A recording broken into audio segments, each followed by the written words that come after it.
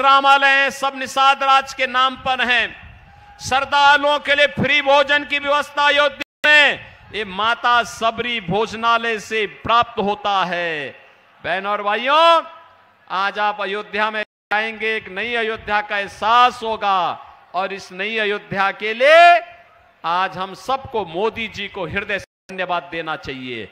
और इसीलिए मैं आज आपके पास आया हूँ। कि बहनों और भाइयों, भारतीय जनता पार्टी और एनडीए देश का सम्मान बढ़ा रही है। देश की सुरक्षा के लिए कार्य कर रही है। देश के अंदर समृद्धि के लिए, विकास के लिए, विरासत के लिए, गरीब कल्याण के लिए कार्य कर रही है।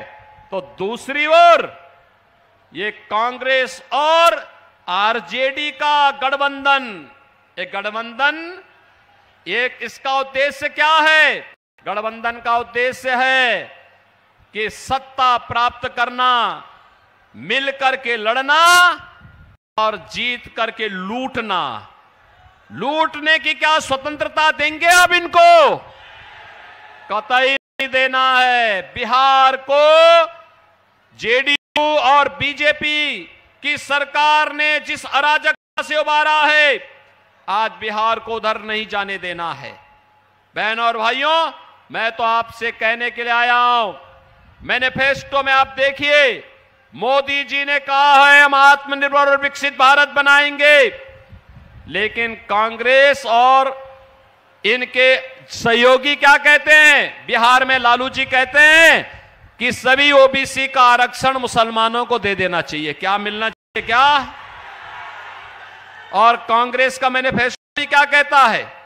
कांग्रेस का मैनिफेस्टो कहता है कि अनुसूचित जाति, जनजाति और पिछड़ी जाति के आरक्षण का लाभ इनसे काट करके मुसलमानों को देंगे। क्या आप इसको इसको स्वीकार करेंगे क्या?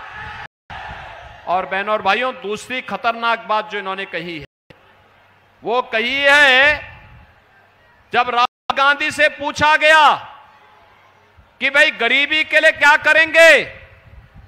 क्योंकि मोदी जी ने तो 10 वर्ष में 25 करोड़ लोगों को गरीबी रेखा से उभारा है, मुक्त किया है, खुशहाल जीवन की ओर मुक्त उन्हें आगे बढ़ाया है।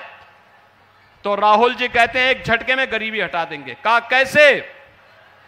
उन्होंने कहा, मैं हर एक परिवार की संपत्ति का सर्वे कराऊँगा और सर्वे करा करके उस पर वरासत टैक्स लगाऊँगा।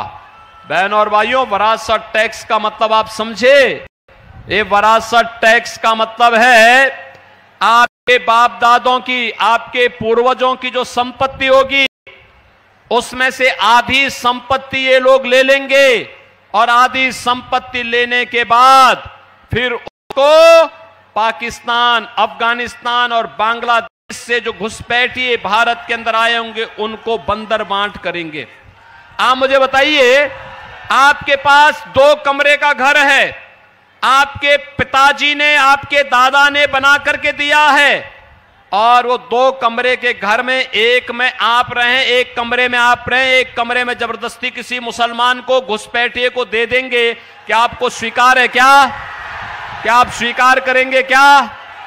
अरे, क्या हो गया इस कांग्रेस को?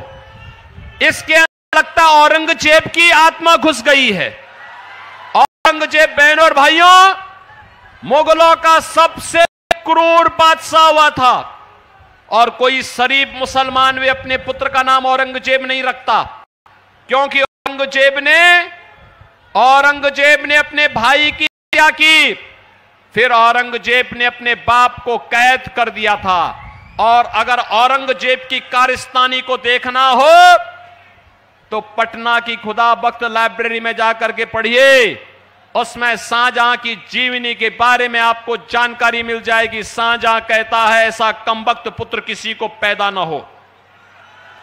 क्योंकि क्योंकि यह जीते जी तो पानी के लिए शाहजहां को तरसाया था और मरने के बाद भी उसने कहा कि यह तो क्या इससे अच्छा तो ये हिंदू है?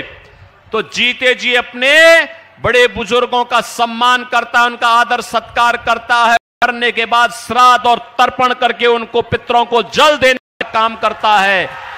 बहन और भाइयों, ये औरंगज़ेब ने जजिया कर लगाया था हिंदुओं पे। मंदिर जो तोड़े गए थे, काशी विश्वनाथ का, मथुरा में श्री कृष्ण जन्मभूमि का, ये इसी दुष्ट औरंगज़ेब ने तोड़े थे। और बहन और भाइयों, ये औरंगज़ेब जजिया कर लगाया था। कहता था, या तो कर दो, नहीं तो मुसलमान बनो।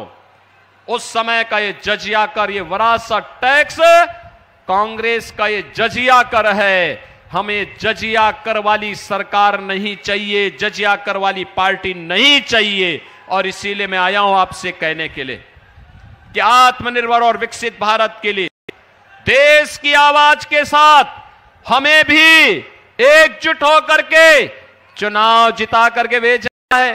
डॉक्टर संजय जायसवाल उच्च शिक्षित चिकित्सक हैं। इनके पिताजी भी, डॉक्टर मदन प्रसाद जायसवाल जी भी, हम, मैं भी उनके साथ सांसद था। डॉक्टर संजय जायसवाल भी मेरे साथ सांसद थे और साथ साथ विकास की चर्चा करते थे, बिहार के बारे में चर्चा करते थे, यहाँ के गरीबों के बारे में चर्चा करते थे, यहाँ के उत्थान के बारे में चर्चा करते थे। और इसीलिए मैं आज आपके पास आया हूँ, संजय जायसवाल के लिए। विशेष रूप से आया हूँ। उत्तर प्रदेश में भी चौदह सीटों पर चुनाव होने हैं।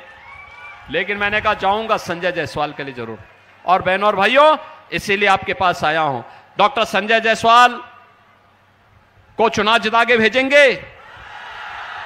अरे, दोनों हाथ उठा के, जहाँ तक मेरी आवाज़ जा रही है, जहाँ तक आवाज़ जा रही है, दोनों हाथ उठा करके मुझे बताओ। बहनों और भाइयों, मैं इसलिए बोल रहा हूँ, देखो, धन्यवाद दूँगा कि मेरे आने के पहले आपने यूपी से बुलडोजर मंगा दिया। और ये ये माफिया और आतंकवादियों का सबसे अच्छा उपचार है। मोदी जी तीसरी बार प्रधानमंत्री बनेंगे। बनेंगे। इसके लिए संजय जायसवाल को जिताना होगा। जिताएँगे। जिताएँगे। कल एक दिन का समय है। एक दिन देश के लिए देंगे।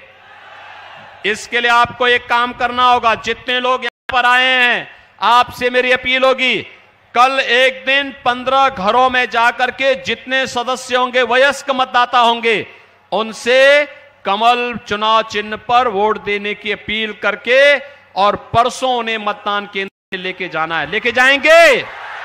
लेके जाएँगे? मैं आश्वस्त होकर के जाऊँ। मोदी को आश्वस्त करूँ कि यहाँ से डॉक्टर संजय जायसवाल, भारी बहुमत से चुनाव जीत के जाएँगे। सहमत हैं? तो फिर मेरे साथ बोलेंगे, भारत माता की, भारत माता की, भारत माता की, जय श्री राम। जय जय श्री राम।